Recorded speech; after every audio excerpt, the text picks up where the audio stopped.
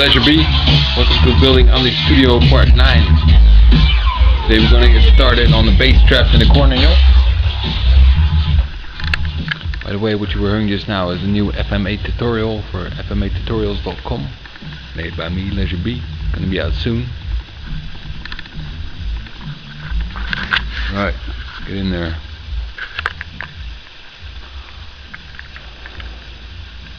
Right, so there's the bass trap in the corner. Each corner covered now.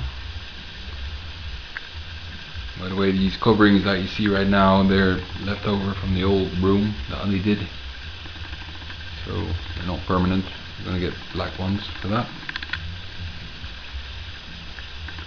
Well, you can see here, it's really nice. We put all the rock wool in and then started to bend over. bend over. And uh, so what Andy did was he built this um, extra layer of wood in there.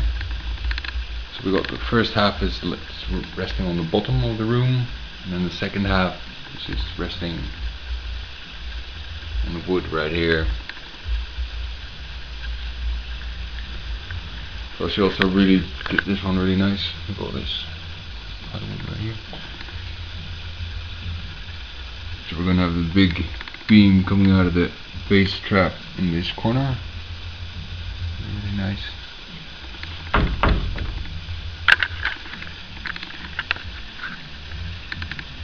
Right here we got the X mark spot for the microphones for the next recording that we're going to be doing. I'm going to keep you all posted on that.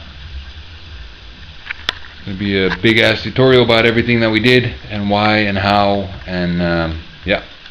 Guess you're going to have to look at that soon and uh, we'll see you next time. Goodbye.